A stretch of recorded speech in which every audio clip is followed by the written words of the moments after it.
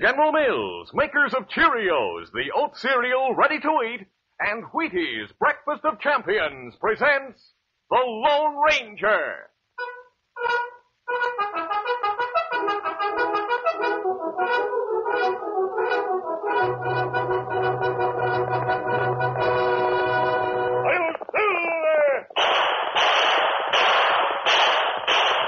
Fiery horse with the speed of light, a cloud of dust, and a hearty Hi-Yo Silver. The Lone Ranger.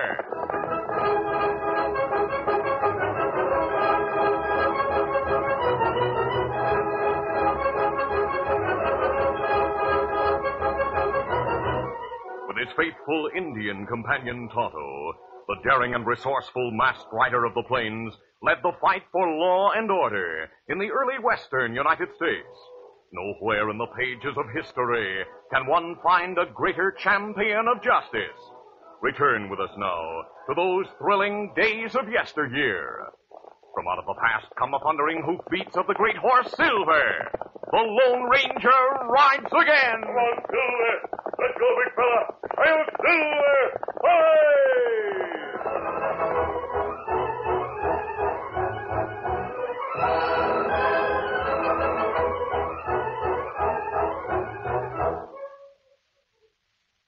Boxer Ben fights hard and fair. So in the ring, you kids beware. He's dynamite because he knows he's got go power from Cheerios. Yes, he's got go power. There he goes. He's feeling his Cheerios. Cheerios. Cheerios. That makes sense. Try Cheerios, the wonderful oat cereal that's shaped like a little letter O, and you'll agree. You'll like that delicious toasted oat flavor, and Cheerios is ready to eat. Just pour out a big bowlful, add good fresh milk, dig in, and start getting your go power. Because a Cheerios breakfast is full of vitamins, proteins, and minerals, and those are the good things you need to help build red blood, healthy bodies, and strong muscles. So enjoy your breakfasts every day with delicious Cheerios and milk, and get that good go power. Then folks will say, He's feeling his Cheerios.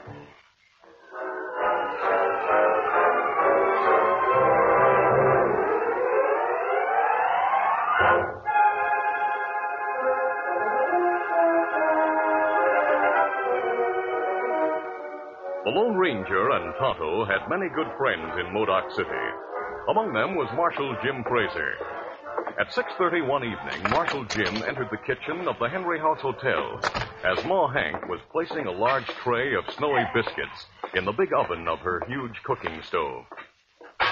Well, Marshal Jim, Howdy, Ma. what brings you here? It's official business, Ma. Who's in trouble? No one you need to worry about. Fact is, I'd like to see Tonto. Well, he went out to the stable a few minutes ago, but he'll be back. Is the uh, Lone Ranger here? No. Do you expect him? Well, now, according to what Tonto told me, the masked man will be here tomorrow or the next day. Say, hand me that lunchbox, will you, Marshal? Oh, sure.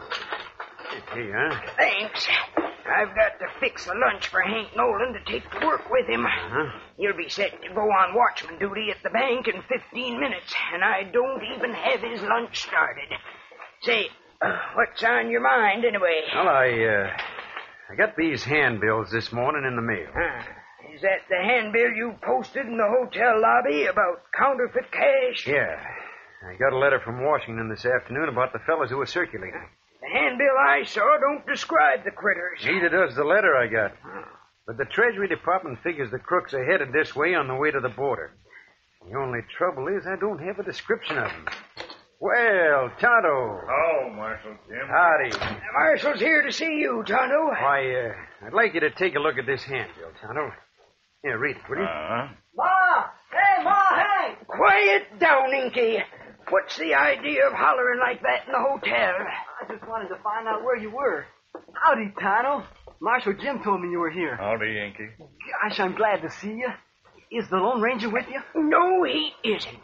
And what's more, the marshal and Tonto are talking over official business, Inky. So you vamoose. Oh, all right. But I wanted to tell you I left a batch of help wanted notices on a desk in the lobby, Ma. All right, all right, Inky. Say, now that you're leaving, take this lunchbox to Hank Nolan's room, will you? He's due to set out for the bank any minute, so you'd better hurry. Oh, gosh. Every time I come around here, you put me to work. you stop back in half an hour, and I'll pay you off with a plate full of chicken and dumplings. I'll be back. What do you think of that handbill, Tonto? Handbill not described counterfeit. Yeah, that's the trouble. Have you or the Lone Ranger run across any counterfeiters lately? We not hear of any for a long time. I hoped you could give me a description of those crooks. The last time we hear of counterfeiters, three, four year ago, law capture whole gang. Well, in that case, I reckon I'll be on my way. Uh, here, a handbill, Marshal. oh, thanks. Had dinner yet, Marshal Jim? I had a sandwich half an hour ago, Ma. Mm. I got a ride to the next county to see Marshal Dixon. I got orders to pass some of these handbills on to him. Well, you've a long trip ahead of you if you're heading for Buckland County. I got my orders from Washington. The sooner Dixon knows about that worthless cash, the sooner he'll be on the watch for it. So long, boss. So long, Marshal.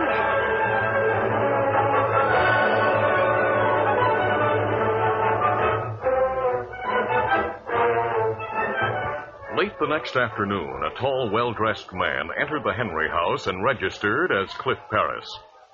Had Marshal Jim Fraser known more about the well-groomed stranger, his search for one of the counterfeiters would have ended. For one of the bags Cliff carried contained $50,000 in counterfeit money. As he took the key to a room from the clerk, he picked up one of the ads the Lone Ranger's young friend Inky left on the desk. Then he went to his room. He was loosening his tie when he heard a sharp rap on the door. Yes, who is it? I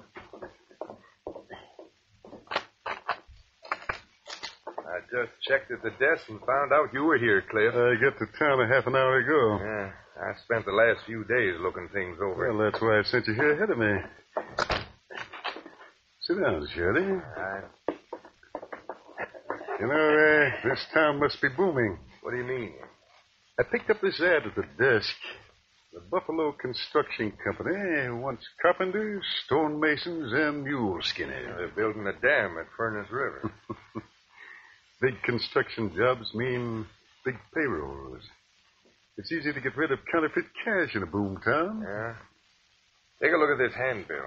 I tore it off the wall of the general store. Be on the lookout for counterfeit paper money. Treasury agents are ahead of us. The law will jump us as soon as we try to pass the worthless cash. We have only a few dollars of good money we can spend. I haven't enough to pay my hotel bill. I never expected things to work out like this. Maybe we could borrow enough to get out of town from Hank Nolan. Nolan. Is he here? Yeah, I saw him yesterday, but he didn't recognize me. you won't believe it, Cliff, but he's gone straight. Doing what? Working as night watchman in the Modoc City Bank. Are you sure of that? Yeah, he lives here in the hotel. But, um, what kind of a safe do they have in the bank? Now, the vault's an old one. None too solid looking, if you ask me. I reckon that's why they hire a guard during the day and a watchman at night. You used to be able to open the best safe made. I could open the one in that bank blindfolded. That's all I wanted to know. Shorty, we're going to leave town with $50,000 of good paper money what? and leave the bank holding our bogus cash. Hey, have you gone local? No. We'll take the good money from the bank safe and leave the counterfeit bills in its place. Then we'll clear out. Where's uh, Hank Nolan's room? Down the hall. Lead the way.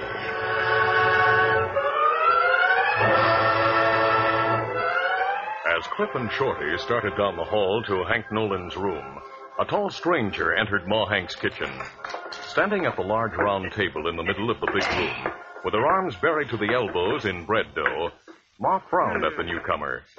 As her eyes swept from the crown of his pomaded hair to the tips of his polished boots, she decided he was a traveling salesman.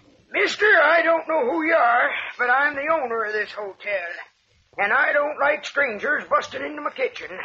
Now, if you want to rent a room, you. I'm sorry if I'm intruding, Ma. Well, mister, you. If I am intruding, I'll... No, no. It's just that, well, doggone it. I never expected the Lone Ranger'd walk in looking like a city-fied dude. Why, until you spoke, I didn't know who you were. I'm glad the disguise is convincing. Tonto said you'd be in town today, but say, what's the idea of the disguise? Ma, I'm looking for a couple of counterfeiters. Ah, so you're after 'em too. I uh, received a letter from the Padre a week ago, enclosing a note from a friend of mine named uh, Jack Dawson. He works for the Treasury Department. Oh, He asked me to meet him. then that's where you've been. Yes, he told me he's learned the identity of the men we want, but he needs help to find them. So he asked you to give him a hand, huh? Yes. You expect to find them here? No, but Hank Nolan may be able to tell me where to look for them. Hank? That's right. Hey, come to think of it, he went to prison for counterfeiting. He worked with these crooks at one time. Marshal Jim doesn't know that. And he doesn't know what those counterfeiters look like. I'll talk to him after I've seen Hank. I've Hank's lunch packed for him. You take it with you, mister. Very well. Uh, he's in room 15.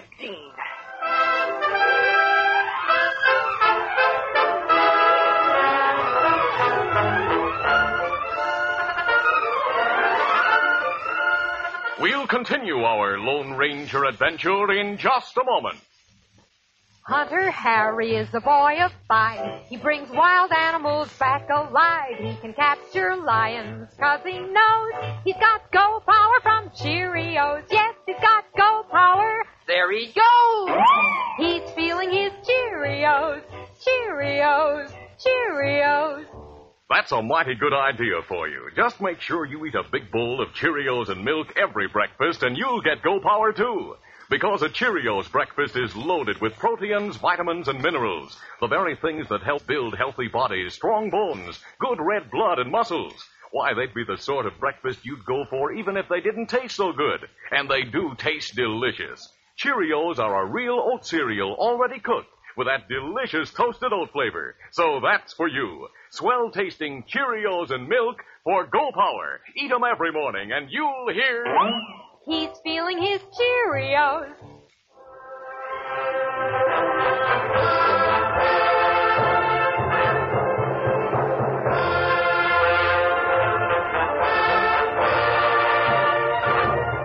Now to continue.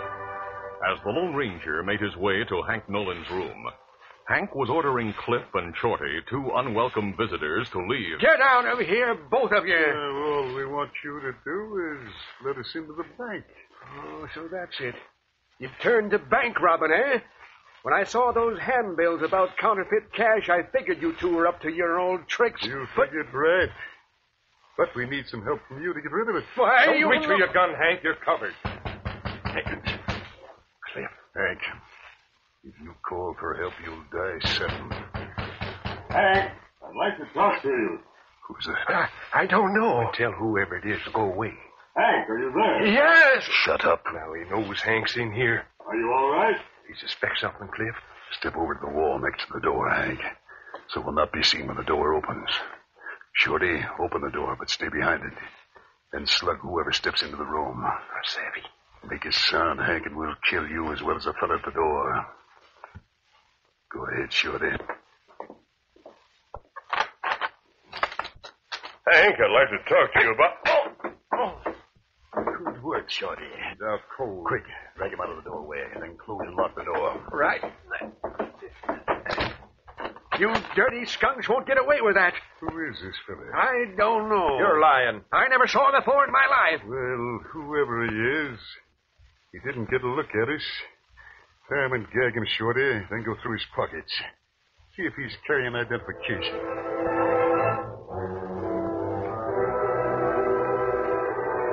Minutes later, the disguised Lone Ranger was gagged and tied hand and foot. Then Shorty took a letter from the prisoner's pocket.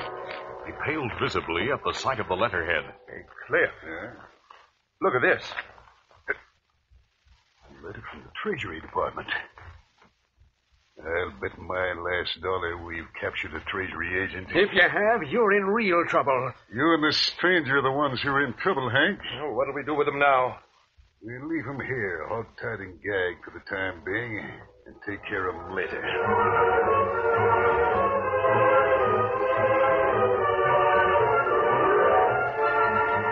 Later that evening, Inky entered the Henry House kitchen.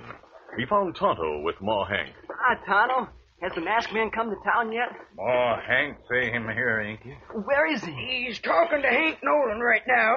Huh? But he ought to be back here any minute. I've got a pot of fresh coffee ready for him and a fine supper. He's not talking to Hank Nolan, Ma. Sure he is. I just met Hank in the lobby on his way to the bank. Hmm? Two fellers were with him, and neither one of them looked like the Lone Ranger. well, I didn't know the Lone Ranger either when he came into the kitchen, Inky.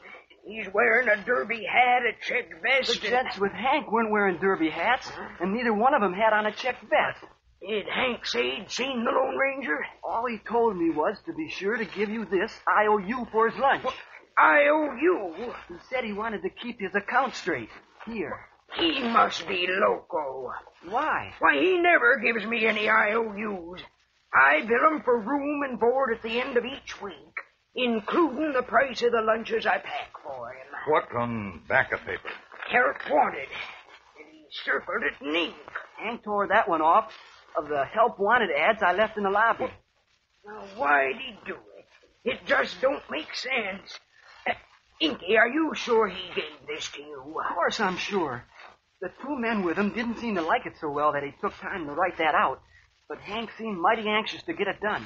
Hank still work at bank? Yep, Tonto. The Lone Ranger and Marshal Jim helped him get the job. He's probably there now It's seven o'clock. I wonder who his friends are. I don't know. The tall, skinny feller with the scar on his forehead stayed mighty close to him while he wrote that note. But you know, come to think of it, Ma, Hank wasn't carrying his lunch. Inky, you're loco. Hank takes his lunch with him every night. He didn't have it, Ma. And why him write note? That beats me, Tonto. Hank's never given me an IOU for his lunch. He didn't have his lunch when I saw him. But the Lone Ranger took it to him. Maybe he didn't see the Lone Ranger. The Lone Ranger left here to go to Hank's room. Inky, you go to Hank's room. See if Lone Ranger there. Me go to bank. Ask Hank if him see him. All right, Tonto.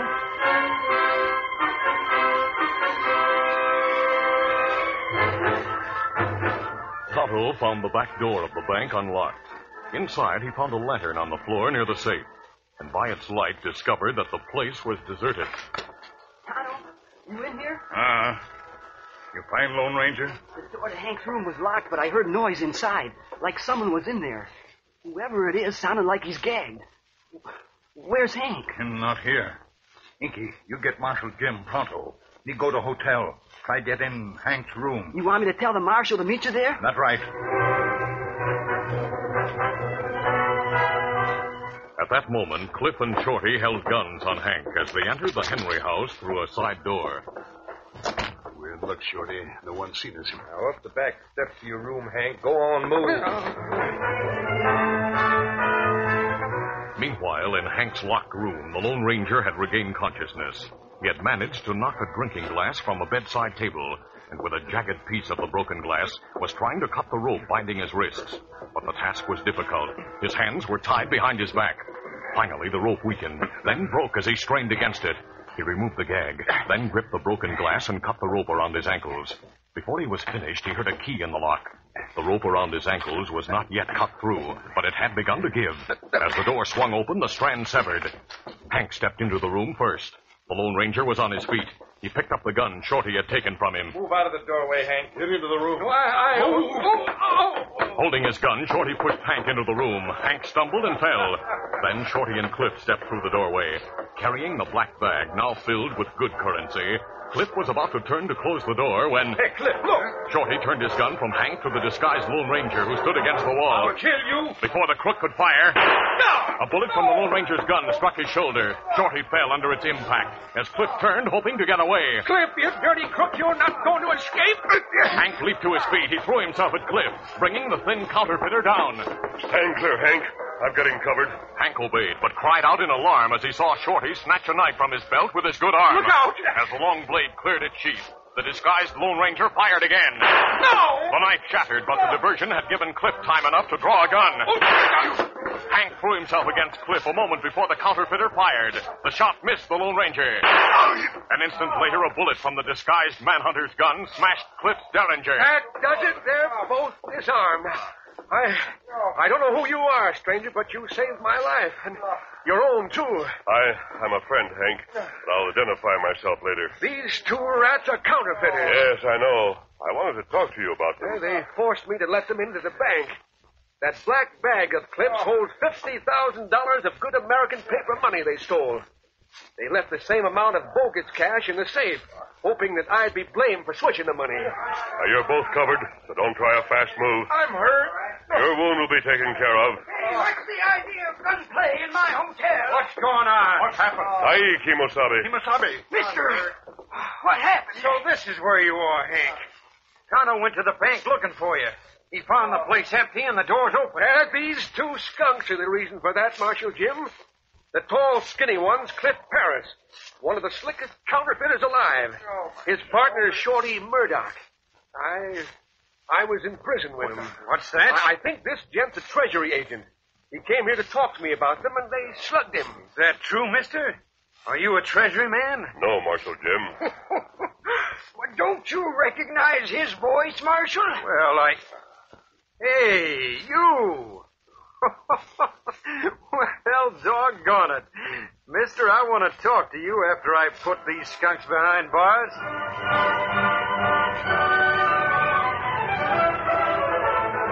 It was after midnight when Marshal Jim Fraser entered Ma Hank's kitchen, followed by Hank Nolan. Inky was already there, eating a piece of apple pie. Well, Marshal Jim. Those counterfeiters are in jail, Ma. The banker and I found the bogus money they put into the safe, and we locked the good money they stole back in the vault. My chief deputy's there now taking Hank's place for the rest of the night. Great sakes alive, you didn't lose your job, did you, Hank? No, Ma, I've been given the night off. Uh-huh. Tonto and his friend left town as soon as things were under control. You mean they're gone? That's right, Ma. Oh, dead rat I didn't even have time for a good visit with the masked man. Eh?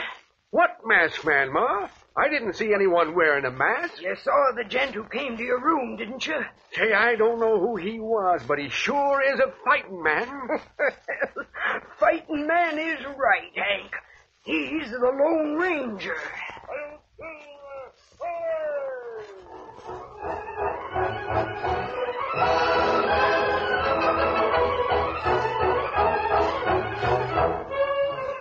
return in just a moment for a word about our next exciting Lone Ranger adventure, Showdown. Cause champions are made, not born. Yes, sir. Get on your way. Get on your way. Get on your way with Wheaties. It's good to know that champions are made, not born. Gives us all a chance. For instance, let's go back to 1943 and listen to the story of champion Mickey Mantle of the New York Yankees. Mickey worked hard to learn the game. As he got on his way to fame, he practiced batting, learned to throw. And Mickey knew what champions know. Wheaties for breakfast, away you go. No wonder Mickey's got all that steam. Mantle and Wheaties, they're still a team. Why, Mickey Mantle grew up on Wheaties, been eating them since he was 12. So good for a guy. There's a whole kernel of wheat in every Wheaties plate. Come on, Mickey, belt that ball. He's on his way, on his way, he's on his way, on his way. Get on your way with Wheaties.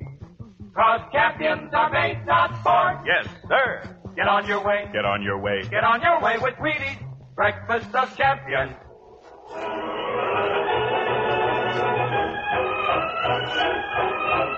When the Lone Ranger reached the end of a murderer's trail, he found himself facing the combined fighting power of an outlaw gang and a pack of savage Indians.